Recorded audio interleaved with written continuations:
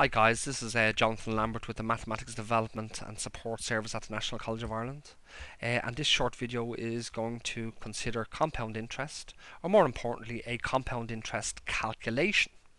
So once again, let's just reflect on our formula. Our general formula for compound interest says that the future value of an investment, where the investment is PV, that the future value is simply equal to the principal value times 1 plus i over n raised to the power of n times t, where, where I suppose we have FV represents the future value of the investment. Okay.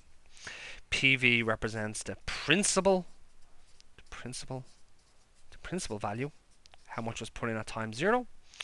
Uh, N represents the number of compoundings, that is whether it's annual whether it's quarterly, whether it's monthly, or whether it's semi-annually. Okay, and T represents the number of years that the investment is being made for, so the number of years. Okay, so let's look at a particular example. Okay, so let's say uh, let's say 1,200 euros is invested. Okay, is invested in an account.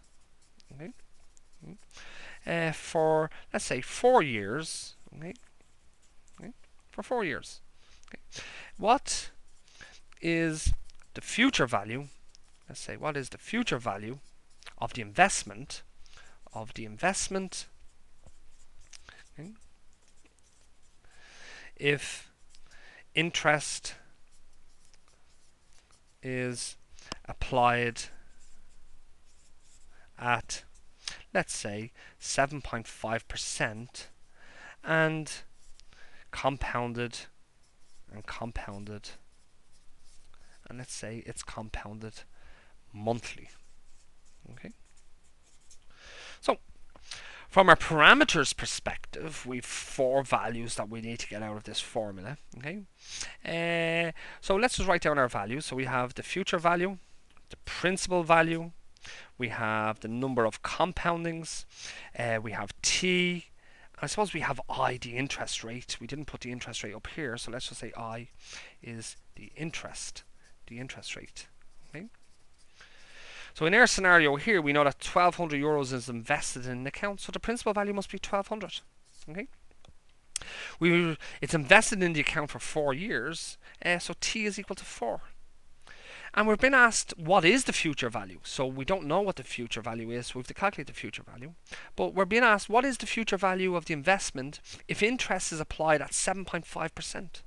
So this is 7.5%, which I suppose is equivalent to 0.075 as a decimal. And compounding happens monthly, okay? So we know that n is equal to 12. Okay, so we have all of our parameters bar the future value. We don't know. So let's take everything and put it into our formula. Okay, so we end up with the future value, which is equal to the principal value times 1 plus i over n raised to the power of n times t. Substituting everything in, we end up with the future value is equal to, well, the principal is 1200 times 1 plus i is 0.075 which is divided by n, which is divided by 12, and that needs to be raised to the power of n, which is 12 times t, which is which is which is 4. Okay. So let's just do this in stages. Uh, let's do the division of the fraction here. So we have 0.075 divided by 12 gives us a value of 0.00625. So this becomes the future value is equal to 1200 times 1 plus 0.00625 raised to the power of, well, 4, 12 times 4 is 48. Okay. Adding the 1 onto the decimal, that gives us the future value is equal to 1200 times 1.00625 raised to the power of 48. And let's do this small piece let's do this small calculation here uh, inside uh, the brackets. Let's do this uh, 1.00625 raised to the power of 48 first of all. Okay, so we have 1.00625 raised to the power of 48 uh, gives us the value of 1.348599151. Okay, so we're not going to carry all them decimals around with us, so let's just say that the future value is equal to 1200 times 1 point, let's say, 349 to, two to three decimal places, okay?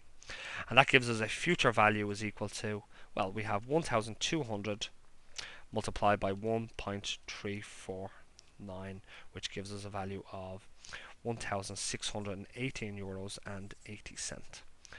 Now, just be careful here. There is some rounding going on, so this isn't exact as a future value.